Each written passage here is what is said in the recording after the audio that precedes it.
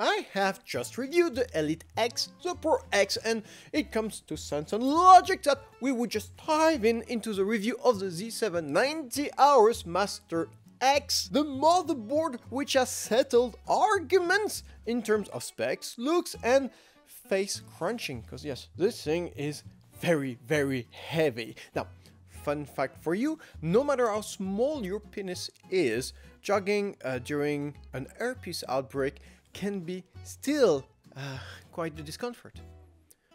A friend told me.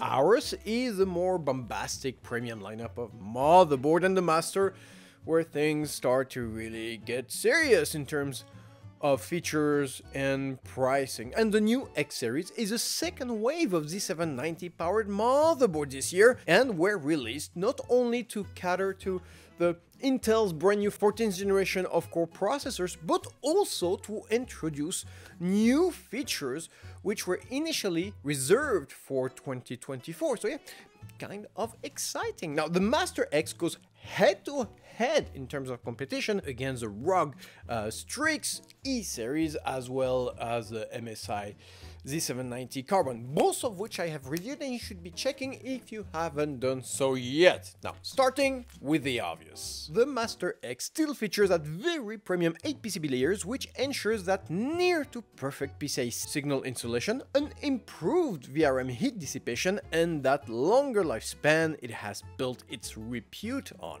In addition, we do have a rather premium backplate protecting the many soldered points you will find there and adding to the board robustness. Clearly, we are way beyond covering the fundamentals, uh, both in terms of solidity and longevity.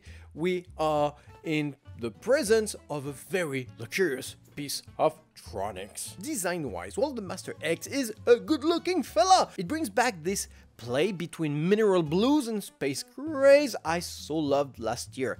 Gigabyte also demonstrates a perfect finish control through its sand brushing techniques, its cross-componentry laser drawing, and its precise angular cuts. The cooling blocks are much larger and taller than ever seen before, giving a topographic, mountainous feel to the board, which works quite well. Now RGB wise, we do have a beautiful, precise, homogeneously lit Aorus logo scene, which does reinforce that premium feel. And if that was not enough, because it never is, we get our fusion connectors for a maximal level of satisfaction, because let's be honest, if you are watching this, this is the only thing in life which will keep you satisfied. Now, CPU socket-wise, well, we are witnessing the last appearance of the very worthy LGA 1700 socket, which did introduce PCIe 5 and DDR5 standards to our motherboard, and worth noting, did last much longer than its predecessor since it is the only CPU socket in a decade to support not one, two, but three generation of Intel processors. Well done, you little LGA 1700. Now, more interestingly, VRM-wise, well, we, we have a very near identical power solution than seen on its Z790 Aorus master predecessor, meaning an imposing 23 105 amps direct phases solution organized in a 20 plus 2 plus 1 configuration. That is 2100 CPU-centric amps here to impregnate your CPU with severe overclocking juice and, I need to say uh, that there is nothing Intel will ever be able to produce. Uh, I mean, uh, up to the 14th generation of core processors, which will be able to shame this power delivery. Um, I love the fact that we have 105 amps PSPs. I mean, this is a very top of what the industry can produce today. Love the fact that we have 210 amps almost dedicated to RAM clocking and overclocking all that is beyond fancy. What I do love less though, and Gigabyte should really listen to this bit. We have two power stages placed and hidden under what could be the hottest component in our board, meaning the CPU connected PCIe 5.0 enabled M.2 solid state drive thermal floor padding. And power stages can get really hot and even though there is only two of them, I still feel very uncomfortable to see the motherboard design team going that direction. To be fair, I did not detect any kind of thermal bleeding, even through heavy overclocking, uh, um, that would affect your M.2 solid state drive storage. But just the fact of thinking that it is okay is a bad precedent. I mean, imagine if they start to putting three, four, five of them. So yeah, uh, uh Nothing critical here, but I really see this as a design flaw, which gives me a perfect transition for uh, uh, taking a look at the VRM cooling components, which in a short word is nothing but the best. We have this exceptionally premium pipe linked two stages VRM blocks. The main one is this rare fin array block topped by a massive extended plate. Now, having a fin array cooling solution is the most expensive solution and only Gigabyte has been using it so far and reserved on their more premium motherboard. It does provide an obscene amount of radiating area and have a much higher heat dissipation ratio than the more classic heat blocks. In short, absolutely delighted to see it here. In contrast, the side block is a no less impressive aluminum block, which does feature radiating winglets protubating on both of its sides for an extended radiating era as well. Both blocks are linked by 8mm wide copper pipe to ensure an homogeneous heat spread. It also features a double contact design providing an intimate thermal padded heat relief to both PSPs and chokes alike. Now I do want to note the thick thermopad sandwich between the back PCB and the back plate which are here to provide an additional heat relief on the power stages solder points. An absolute masterclass uh, in terms of VRM cooling design. It, it does an absolute gorgeous job at keeping this army of 105 amps power stages cool at all time. With an i9 14900K continuously running at 5.9 GHz for a full synthetic stress test hour, both blocks stayed nicely close to the 50 degrees Celsius symbolic bar, which again, coming from a 20 plus 105 amps PSPs and an extravagantly demanding processor is extremely impressive. Overall, I am giving the Master X VRM uh, 8 out of 10 score. I was going to give it 9, but I'm detecting one design point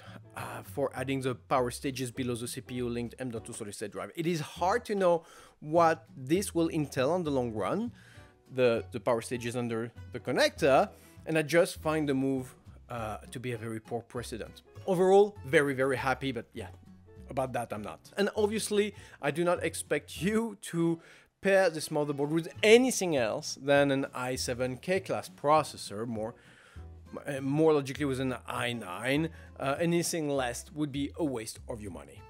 Now, RAM-wise, the Master X supports 192GB of DDR5 RAM organized in a dual-channel configuration, clockable up to well, a not very realistic 8266 MHz. And the reason why I say it's not very realistic is that by design, you cannot achieve anything beyond 6.5 gigahertz with a fully populated dual channel uh, uh, configuration. Now, you might be able to get closer to 7 gigahertz with a single stick, but with anything more and with the current sticks on the market, I, I don't know how you're gonna get to those 8 gigahertz.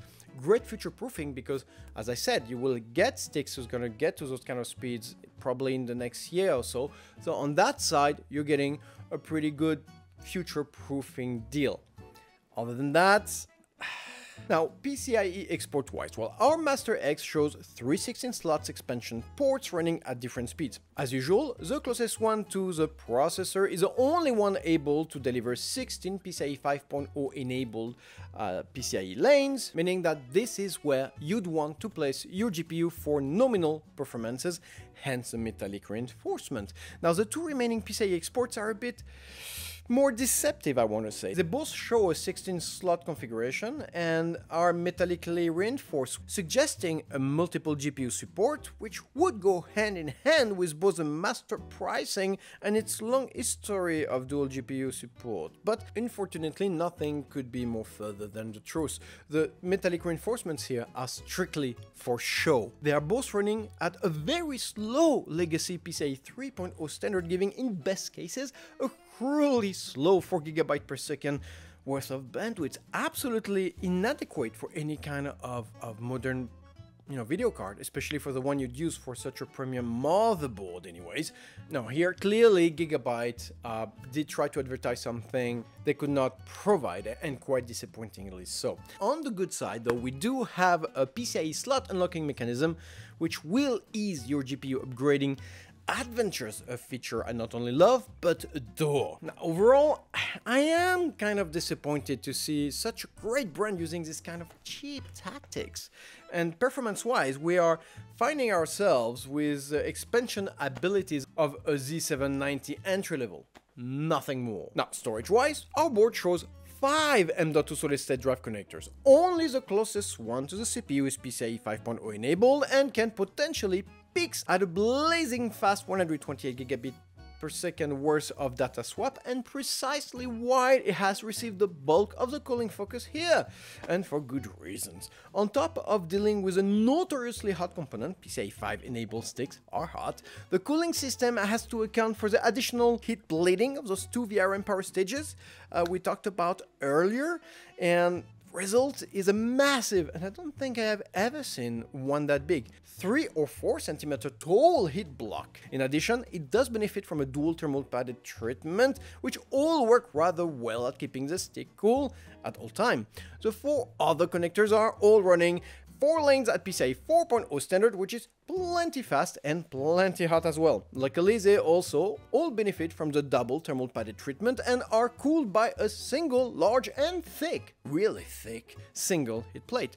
Worth noting, all of our M.2 solid state drives do come with a screwless locking latch, which in my opinion has become the most sturdy and easy to use in the industry today. Now, Obviously, coming from a Z790 powered motherboard and with a limited amount of PCIe 5.0 lanes available here, we do have the same PCIe bifurcation scheme we have seen on the Pro X, meaning that if you do dare to use a PCIe 5.0 enabled connector, the GPU expansion slot will see its bandwidth divided by 2, which is the price to pay uh, to use a PCIe 5.0 enabled stick on a Z790 powered uh, uh, motherboard in general. Finally, and to end this on a more positive note, um, we do have the screwless plate locking mechanism introduced on the X refresh lineup of motherboard, which is a sizable innovation and which I totally fell in love with. Now, back IO wise, first let me know the integrated and padded back IO, which has been punctured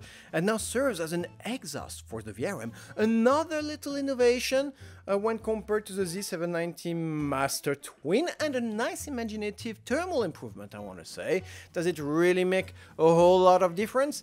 Hard to tell, but hey, I do like the effort. Now, starting from the left, we have our accessible troubleshooting features, namely a clear CMOS and a BIOS button for a CPU-less BIOS update. Our newly introduced Wi-Fi 7, which really brings Wi-Fi latency nose to nose with cabled internet and pushes our speeds up to a commanding 10 gigabit per second. Our mosaic of USB outputs, totalizing no less than 150 gigabits worth of bandwidth, including three nice 20 gigabit Type-C, you won't see that every day. A display output for our integrated graphic, a very premium speed modulated 10 gigabit E LAN plug, which really places the Master X above its natural competition on the connectivity uh, side of things. Um, I mean, I just reviewed the Z790 uh, Maximus Dark Hero uh, a couple weeks ago, and it only gave us a 2.5 gigabit classic surge protected LAN, which was very uh, um,